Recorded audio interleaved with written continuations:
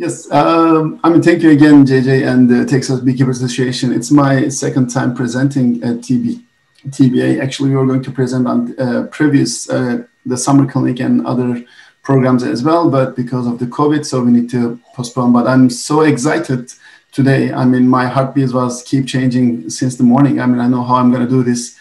I did a lot of presentations to my students on the Zoom. I did other presentations, but somehow because of this, it's kind of and maybe I'm in between your lunch, uh, so that's kind of make me nervous as well. Anyway, so today I will be talking about honey in wound healing. So uh, most of the speakers here, I mean, thanks to them and then thanks to beekeepers associations, that we all focus on how to make better honey uh, by having better queens and by having better worker bees, by having better hives.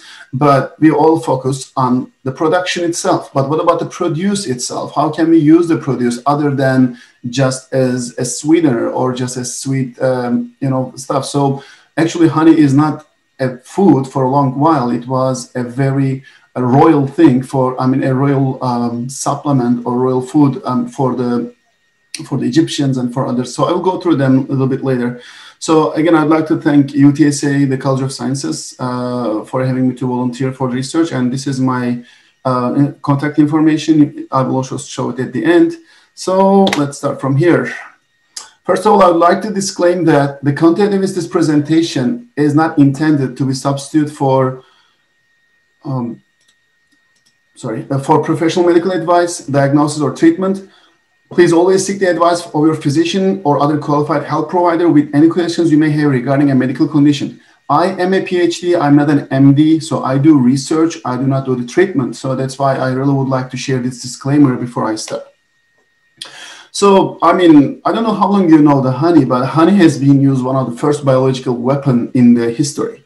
So how do we know that? I mean, there are different historical records for this, but the, this one is pretty famous. In 67 BC, the Egyptian, I mean, the Romans and Persians, sorry, Romans and Persians were always fighting each other. I mean, to have the dominance in the land of Anatolia or today's uh, land of Turkey.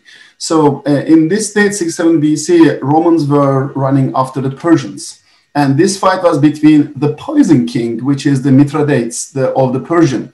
So, I mean, I would recommend you to do, read this book because this guy, the, I mean, the, the King Mithridates, he was using the poisons in a certain small amount that he gained resistance to all of the poisons. And when he decided to su- commit suicide, when he was captivated or almost being captivated by the Romans, he used the poisons, but none of the poisons worked on him because he got resistance by taking them small. And he know how to use the poisons against his enemies as well. But this time, the poison was something sweet. So, and Pompey the Great, one of the greatest emperors of the Romans as well. So these two, they have uh, the fight over Anatolia. Again, this is today's uh, uh, the country of Turkey. So, so in between Europe and Asia or Eurasia, I would say. So this Anatolia has been land of uh, 13 different civilizations throughout the history, so thousands of years of history. But I'm not going to go all these figures in here. You can just uh, dig it later. But Turkey is one of the best places to visit in the world uh, in terms of um, be, I mean, the land and the history.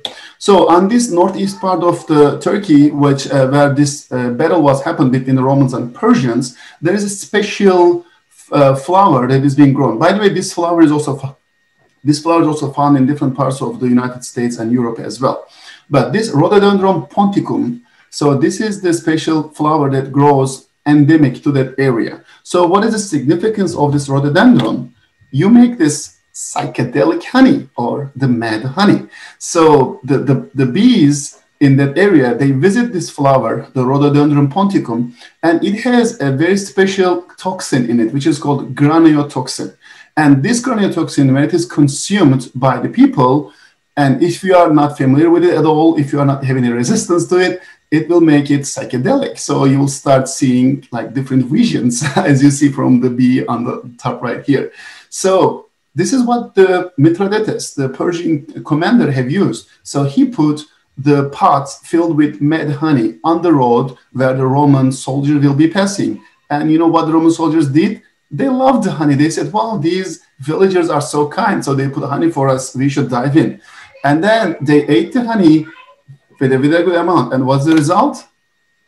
look at them. I mean, these guys just got drunk or kind of, you know, um, they were under influence. So, so they cannot fight under influence in a battle. So what happened to them was as they consumed the honey, they got the irregular heartbeat, they got bradycardia, which is a low heart rate, low blood pressure, mental confusion, impaired consciousness, blurred or double vision, dizziness, excessive perspiration, salivation, convulsions, nausea and vomiting and diarrhea.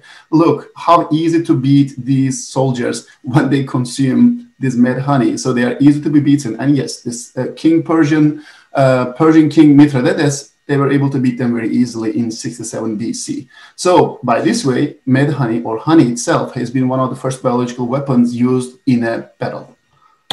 Okay, so what is this honey? Yeah, let's go through the um, let, us just go over its present, I mean, its uh, definition. Uh, according to the, some dictionaries, it's a sweet compound that has been produced by the honeybees. Sometimes it mentions byproduct. So the nectar has been processed by the honeybees or sometimes the honeydew and then they pro- they process them in their abdomens mixed with the diastase enzyme and the other enzymes they keep you know regurgitating between each other. About 200 honeybees regurgitate to each other to have one uh, less than one I mean one twelfth of a teaspoon uh, of honey.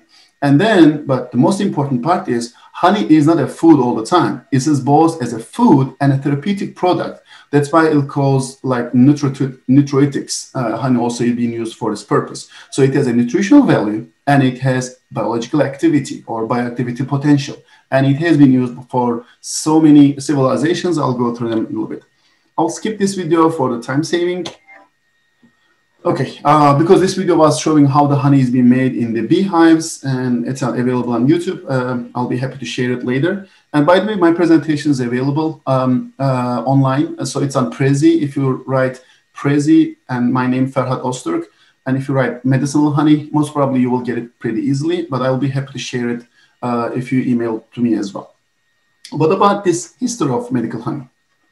So, uh, as we have seen in, the, in, this morning's presentation, I mean, human beings have been harvesting or hunting honey since the beginning of the years. So, this, the man of Bicorp in Valencia, Spain, it has been discovered uh, that it's almost 15,000 years old. So, the uh, honey hunters were going into the cliffs of the mountains and to get the honey from the bee- beehives or like wild bees and then they were uh, you know indulging them but at the same time honey has been used for medical purposes, especially after the wounds. And also the most of the one of the oldest civilizations, Sumerian, Babylonian, and Hittites. And by the way, all three, all these three uh, civilizations were in the Middle East and Anatolia. So they have used they have used honey, uh, and they lived between uh, 4,000 to 6,000 years ago. And they were very respectful to the queen bee or the bees, and they used honey for so many of their rituals and in their royal life. And then also in the Indian and Chinese culture, I mean, all over the world have used honey. So in the Rig Veda, in the Ayurveda of the Indian culture, they have a very nice uh, poem I would like to share with you. So let every wind that blows drop honey. Let the rivers and streams recreate honey. Let all our medicines turn into honey. Let the dawn and the evening will be full of honey. Let the darkness be converted to honey. Let our nourisher, the sky above, be full of honey. Let our trees be honey. Let the sun be honey. Let our cows make honey. I mean, the, bees make honey though. But this is a, wonderful poem. I really like it. It's, so honey is all over the world. And also in the Chinese medicine, according to fundamentals of Chinese medicine by Zhongyi Hu and uh, Ji Chu, so that, um, I mean, honey is a balanced, sweet, non-toxic uh, food that enters to the lung, spleen, and the large intestine meridian channels. And, um, and it has been shown that it relieves the pain, it relieves the stomach pain, the deep, it, it is a deep source for the nasal congestion. It helps feel healing the mouth sores, scalds, and burns. So it's all over the place. And what about the Greeks and Roman, the ancestors of the European uh, culture? So yes, Greeks and Romans have also widely used the bee in their royal culture. And as you can see from here, there's a coin of Ephesus with a bee on it, and also another necklace uh, with the two queen bees, uh, you know, touching each other. So it didn't finish yet in the Egyptians. I mean, Egyptians are the civilizations that has used the honey in the most elevated level. It has been used the the tombs of the pharaohs, and it has been used as like as a service to the gods, the Egyptian gods.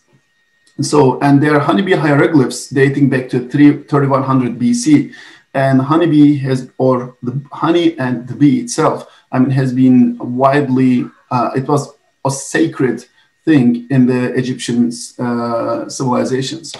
And what about the Turks, Arabs, and Persians?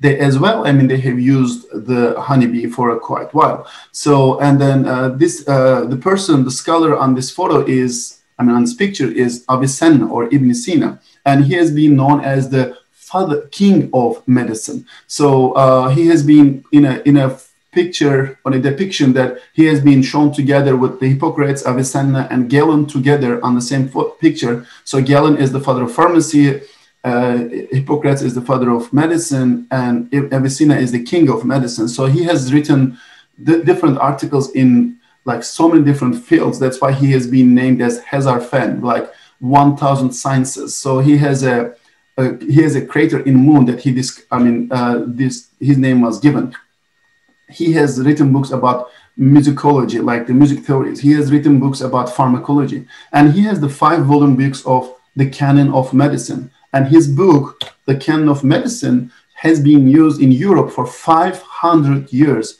as the major text for medical students. So for 500 years, and it was from the beginning of the Renaissance. So he has been the first footsteps I mean, of the Renaissance has been done by Avicenna. So we can I can spell out A V I C E N N A. So Avicenna is the uh, the king of the medicine has been known this way, and then he has been used honey in most of his pharmacological uh, you know texts. So there are more than forty there are more than forty uh, recipes in his books that use honey for healing. What about the religious scriptures? I mean, since honey has been like um, uh, revered by so many civilizations, also there's a religion on the background of it. So honey has been mentioned both in Bible, the Torah, and the Quran. So in the Torah, the land of Israel has been described, or the literally means flowing with milk and honey. So Israel means, I mean, today literally Israel means milk and honey, the flowing one. And also in the verse in grace after meals, the Israels, the seven species of fruit and grain, honey is there.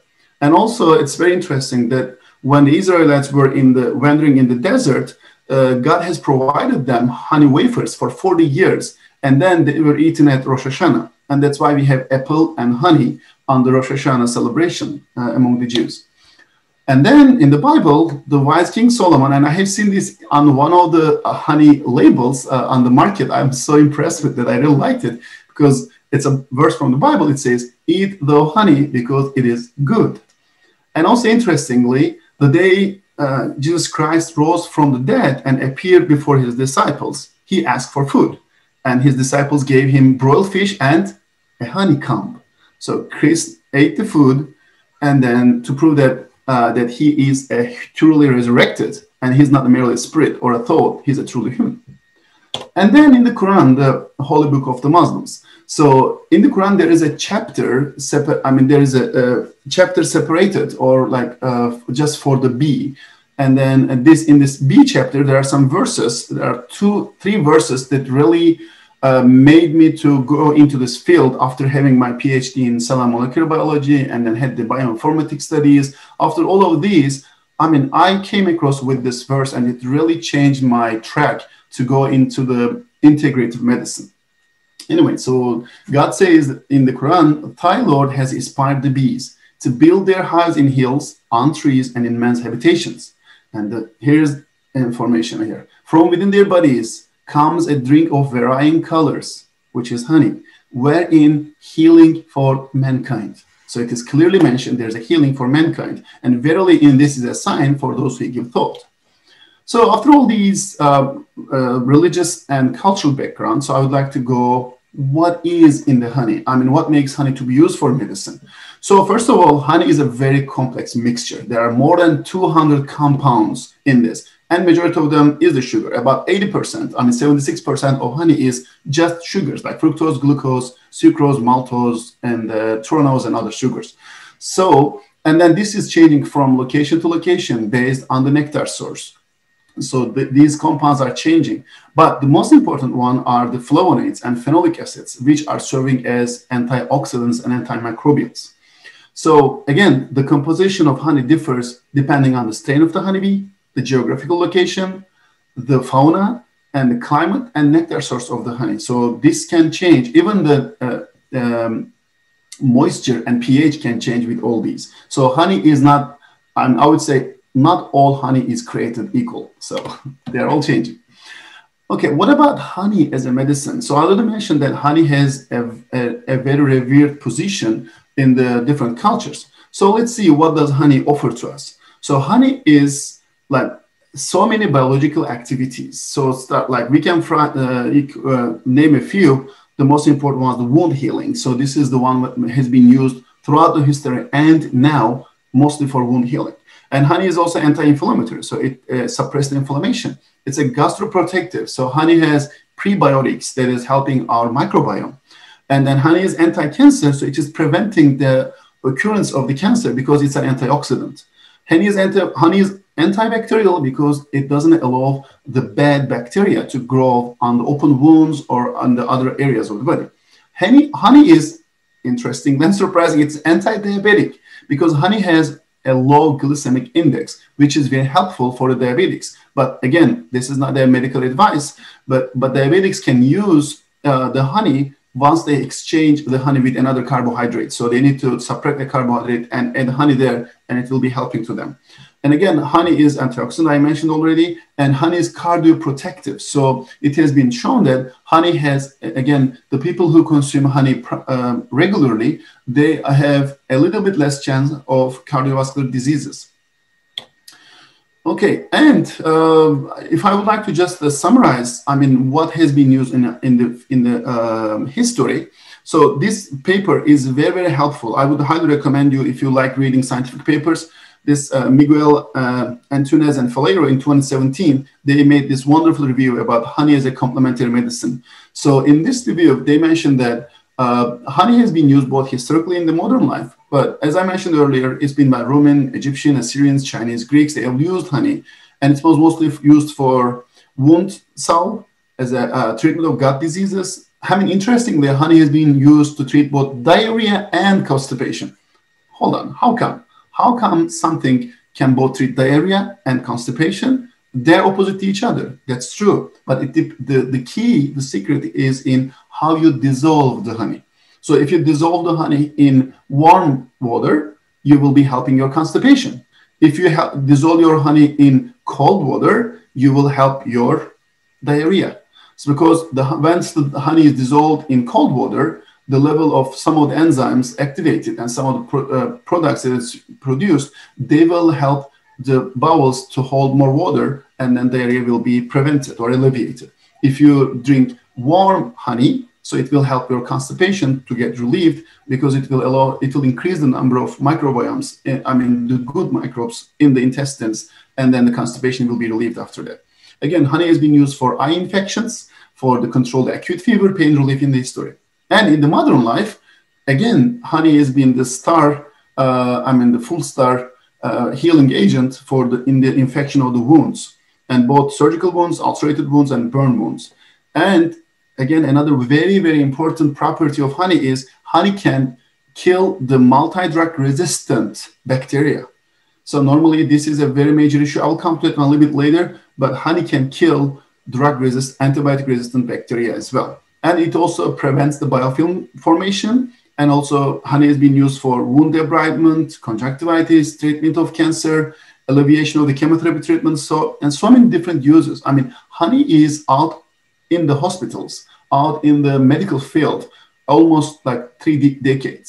And the father of this is, I mean, I really would like to appreciate the works of Professor Peter Molan, who passed away in 2016. He was from New Zealand, and he's the father of Manuka honey as well. But he uh, has done a lot of research to put the honey back into the uh, clinic. Okay, and as I mentioned, I mean, honey has been used in today's world. And look at this. This is the Cochrane collaboration. And this is a very uh, highly referenced uh, uh, journal among the medical clinical field. And 2016, there was a review of honey as a topical treatment for wounds. So in this review, they have analyzed more than 200 clinical trials going on worldwide or completed in worldwide. So which means that honey has been used in the clinic for a long, I mean, for quite a while.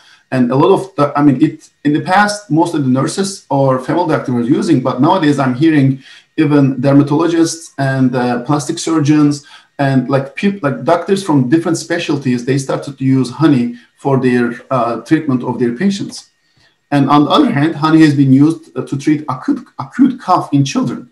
I have a daughter, she's three and a half years old, and whenever she starts uh, like coughing, I always just bump the honey into her mouth and it's mostly the buckwheat honey and or, or whenever she like starts uh, feeling not very good so and she loves it so she loves the honey i'm, I'm feeding her with honey for like since uh, her infantry so or infancy and again there was a paper a review on 2018 that uh, honey has been uh, the use of honey for acute cough in children has been analyzed and so many clinical trials were um, analyzing this study and feel free you can you feel free to visit these uh, papers too.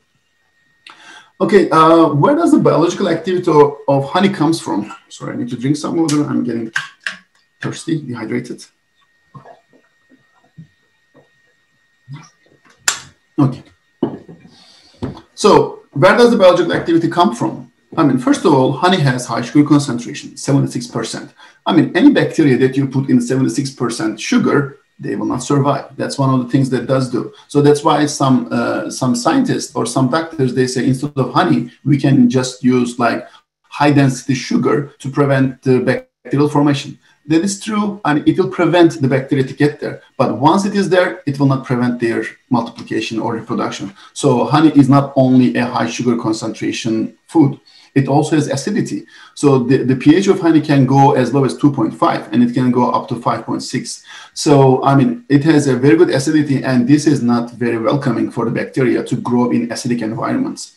And then another important property is the hydrogen peroxide. So once you dissolve the honey in water, as I mean, normally when the honey is produced, there we have glucose in it, and we have gluconic uh, acid in the uh, in the environment. And the nice thing is that the bees they put a very crucial enzyme which is called glucose oxidase.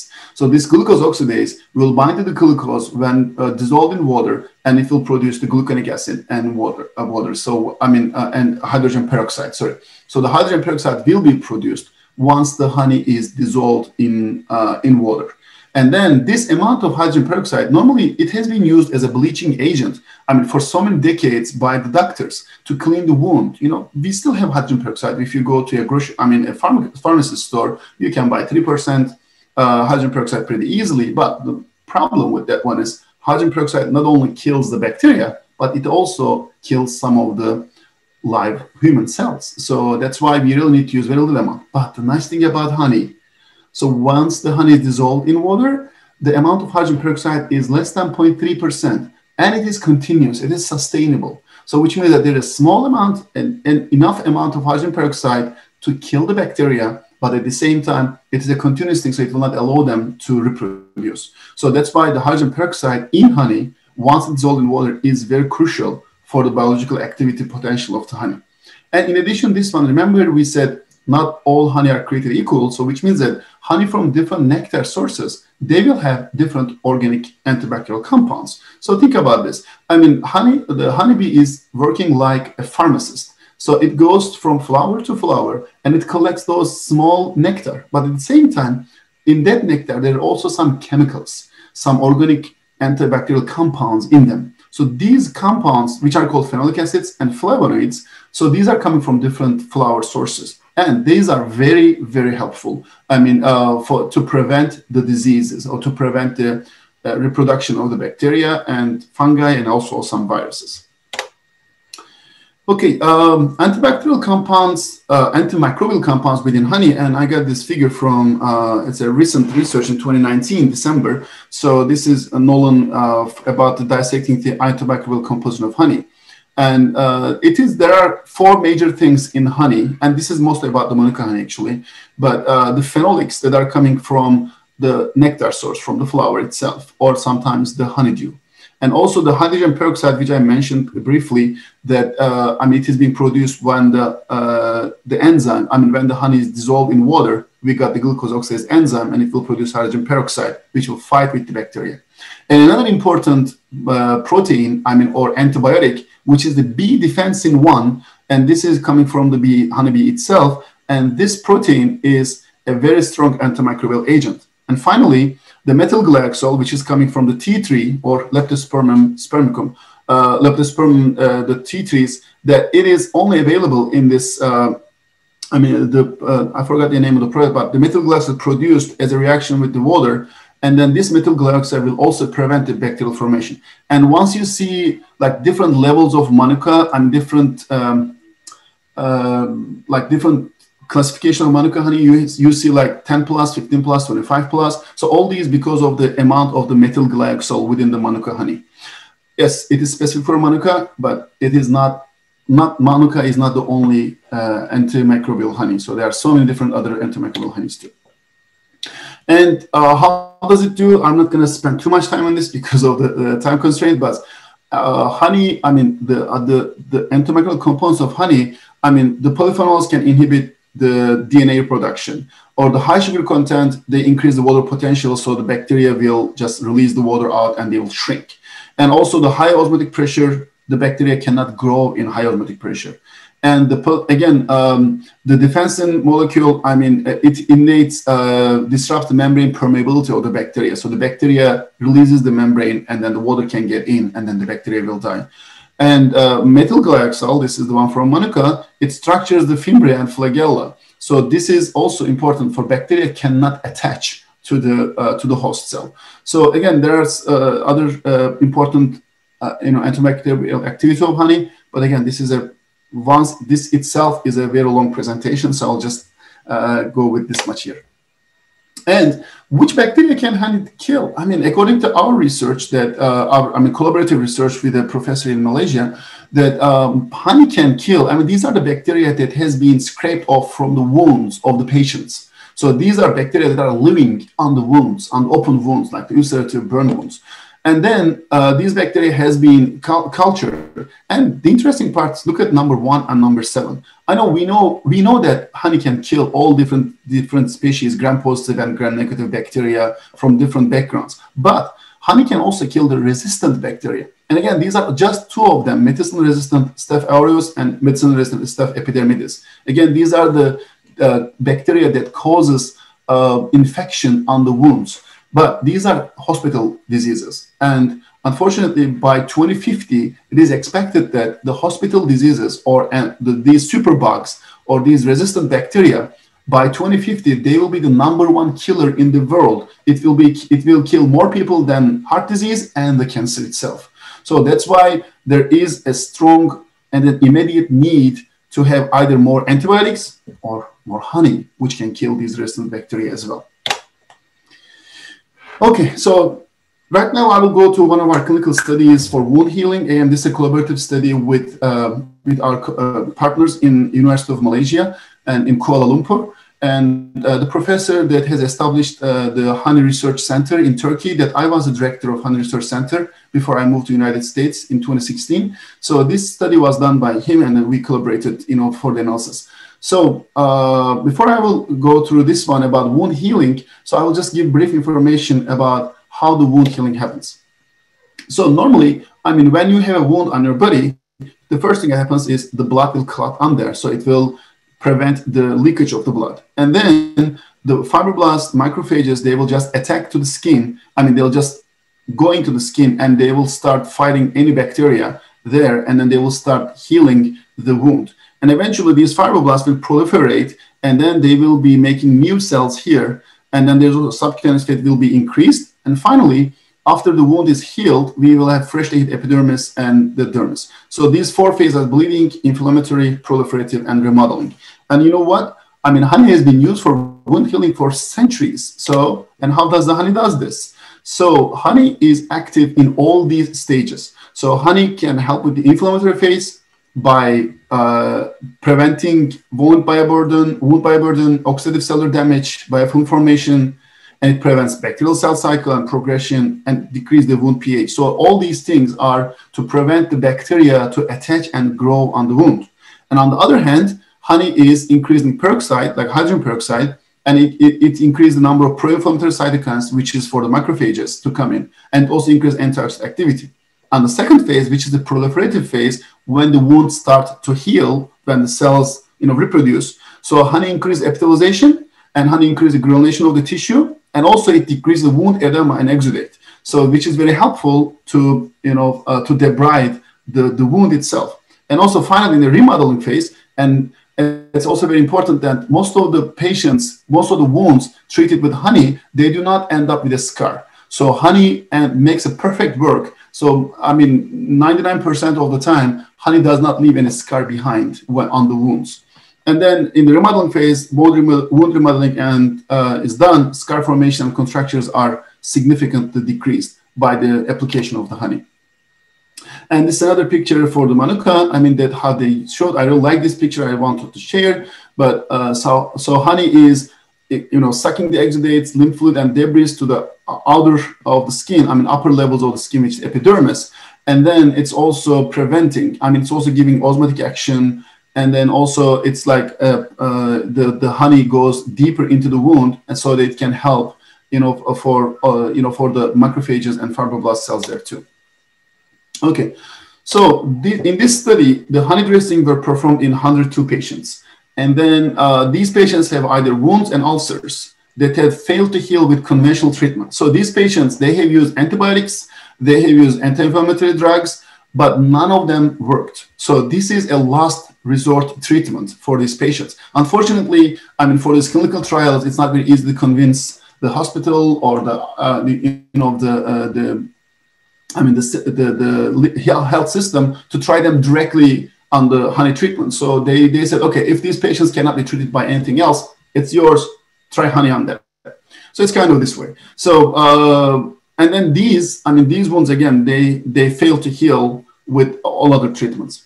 And I would like to give you a warning. There are some graphic contents in here. Maybe you have seen some of them uh, before I moved into here. So if you don't like, if you, the kids don't, if you have uh, kids watching this or other people who doesn't like the wounds, I mean, don't feel comfortable. So you may just uh, turn off your monitor or just listen to it. Anyway, okay. So this is how the uh, honey is applied to the wound. So from number one to number 10, so these are the steps. First of all, clean the wound. And as you can see, this wound is pretty big. I mean, hand can fit into here. So the nurse is cleaning the wound with 10%. It's important. It is 10% honey solution. It is not the honey itself. It is not the iodine or something else. 10% honey solution. And in these studies, the honey used is not manuka. The honey was used from the Gelam honey or Tualang honey from, the from Malaysia. So it is the local honey that has been shown a high bioactivity uh, in, uh, in Kuala area, and they use this for the treatment of these patients. And this honey is gamma irradiated, which means that normally, I mean, you, you should not be applying anything under the patients unless it is sterilized. And honey cannot be sterilized by heat or by gas, so it needs to be sterilized by gamma irradiation to kill any spores that are left in honey. Normally, no bacteria, no virus, no fungi can live inside the honey, but spores, those spore-forming bacteria, they can survive on the, within the honey because they just live in a spore that protect themselves. Anyway, so these are gamma irradiated honey. It has been 10% uh, honey cleans the wound area.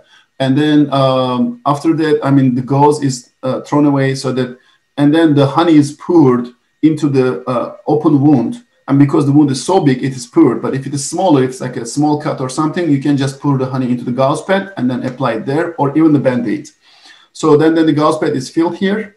And then uh, the the dressing has been finalized after that. And this has been done, depending on the patient, up to three times in a day, depending on the depth of the wound. And this patient, uh, as far as I remember, it was being treated three times, morning, noon, and in uh, evening. This patient has been treated with honey because it's sucking the honey very quickly.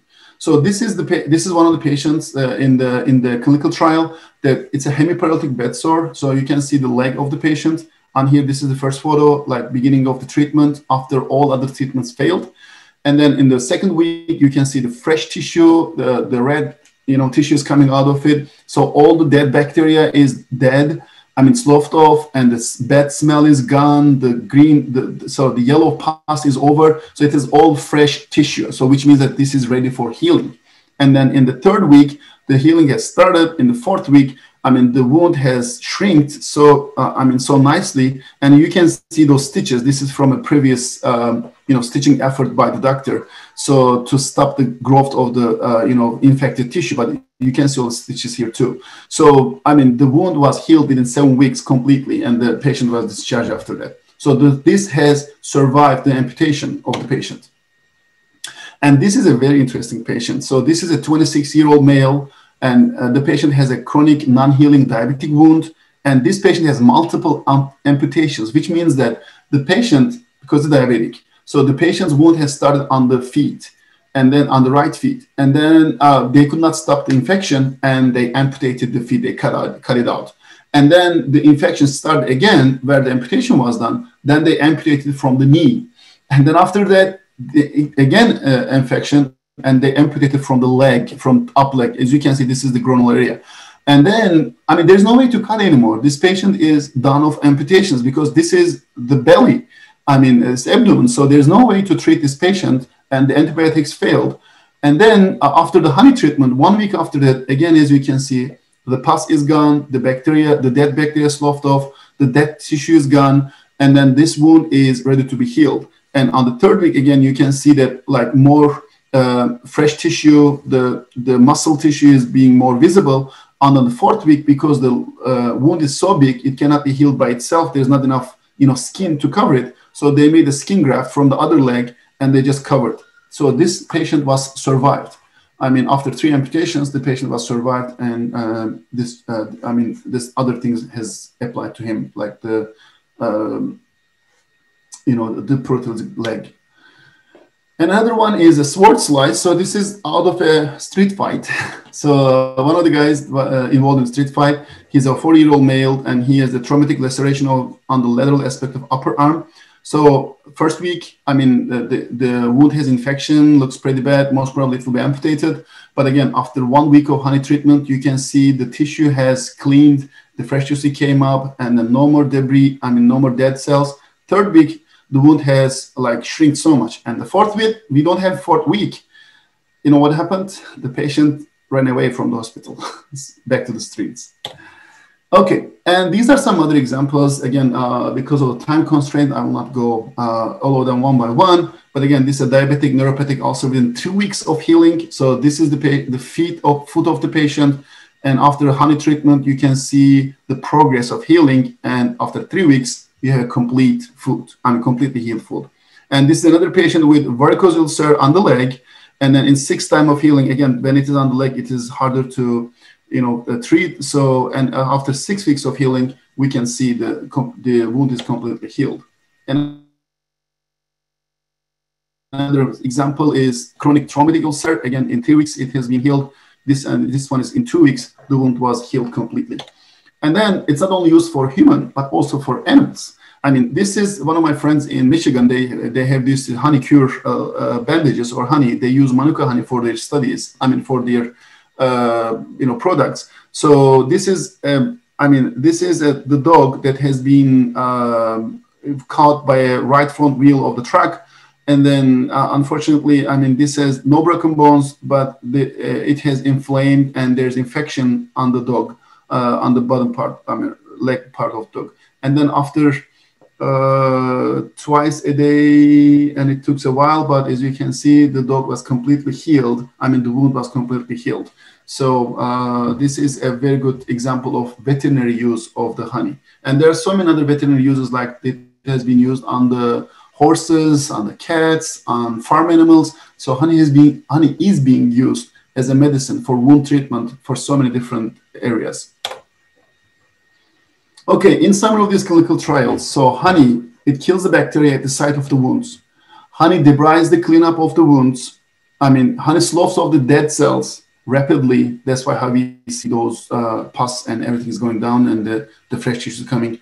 Honey enhances the granulation and reepithelialization, and honey absorbs the edema, the swelling there. It reduces further infection because it doesn't allow the bacteria to grow. And also it overcomes offensively smelly wounds because it kills the bacteria which causes those sulfur gases which makes a smell. And unfortunately, it's very uh, uncomfortable for so, some people when it is smelling pretty bad. And it also reduces the need for skin graft treatment. So as a result, as a conclusion, honey is out there, I mean, for thousands of years. It's a very economical, easily accessible, and high efficient agent for wound healing. And honey has to be introduced as a frontline product. And luckily, it has been used by so many physicians and clinic, clinicians that as a frontline, and especially by the nurses and family doctors. And then honey encloses perfect mix of synergistically active ingredients. So all these ingredients come together. And thus, it's offering a promising chance for clinical employment to manage human wounds and as well as animal wounds and also some cancer types. And the last word is, as described earlier by Dr. Zumla, honey is a remedy rediscovered. I'd like to thank, I mean, I'd like to especially thank to uh, UTSA uh, for uh, allowing me, I mean, uh, approving me to work in the lab, Dr. Kelly Nash, and then Texas Beekeepers Association, especially JJ. I mean, I'm thankful to him that he kind of discovered me, uh, that like to give these talks, and then uh, luckily, I mean, I will be more active in the research field. And I think he already mentioned, so we are collecting samples to find which honey can be used, uh, which Texan honey can be used for medical purpose. And it will be in my presentation this afternoon at 3 p.m. which honey to be used for these medical purposes. So not remember, not every honey has created equal, so not every honey can be medical purpose. So we will talk about in the afternoon at 3 p.m. And then I also would like to thank uh, Dr. Professor uh, Kamal Mohamed Yusuf from Malaysia. He was the founder of the Honey Research Center in Turkey. And uh, I'd like to thank Professor Yunus Bekdemir. He was the president of my university that I used that I worked in Turkey. And um, I just would like to touch base one thing that because of the autocratic government in Turkey, um, uh, like about 8,000 academicians were jailed or, or, lost their jobs. So my professor, uh, he's in jail for more than four years right now, despite his health uh, diseases. So I mean, uh, please I mean, if you pray, pray, please keep him in your prayers that he will be released as soon as possible. And then I'd like to thank for Alma College because I did my research in Michigan for the Michigan honey uh, at the Alma College, and that I currently work at the School of Science and Technology as biomedical science teacher. And again, thank you so much for joining today. And I believe I'm on time, 11:49. I think I used my time wisely. Sorry if I talk too fast. That's how I am. I'm trying to slow down myself, but it doesn't happen. Okay, so again, uh, this is my email address. Um, you can use either drmedable at gmail.com or ferhat.ozturk at utsa.edu. Okay, let me zoom in here. And if you want, you can take a photo of this image or you can just scan it from your cell phone. And then once you scan it from your cell phone, my contact information will be directly added to your phone. There's no virus in it. Don't worry about it. It's just my contact information you can easily add to your phone book with my phone number, email address, and uh, you know my full name. Okay, I will leave it here if you want to get the contact information for another 30 seconds. Thank you, Dr. Ozturk. That was wonderful. This is Charlie. I'm jumping in. We do have a few questions if you're willing to answer them real quickly. We had one one gentleman, Justin Baxley. He says, Merhabalar, Dr. Ozturk. Oh, we had a Turkish person. wonderful. He asked about uh, a local plant in Texas, monk's pepper or chaste tree. Vitex is a common decorative plant, and the bees seem to like it. He asked, "Is there any risk that the you can be producing pharmaceutical honey in, unintentionally?" Okay, it seems to react be reactive for Again, uh, I mean, to be honest, uh, I am new to, I'm not new, but it's two years that I'm in San Antonio right now. And uh, there are, again, I will be covering in the afternoon. I don't want to keep saying that, but there are about like 90 different types of monofloral honeys. So, and there's no way to, you know, analyze all of them at once. And in Texas, uh, I'm collecting honey samples right now, and I'll be happy to look into that one, monk's pepper, the chaste tree. So, uh, again, please uh, feel free to send your samples either to TBA, I mean Texas Bee Association, or you can email to me. I can send me our, send my school address to you, so you can also ship ship it to me. And I'm collecting about like 50 to 60 samples, and I will start analyzing them. I'm already in the lab, uh, established my procedures. So I'm just collecting the samples now, and then uh, you will be contributing to the science. Uh, so I'll be happy to look into this. But uh, again, uh, I'm not a medical doctor, so I cannot directly tell how it affects the hormonal impacts and other things. Very good. There were a couple of questions, and we know you're not a physician, but about lung health and COVID 19.